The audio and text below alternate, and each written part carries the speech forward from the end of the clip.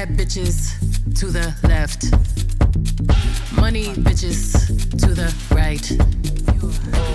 It should cost a billion to look this good. Oh, but she make it look easy cause she got it.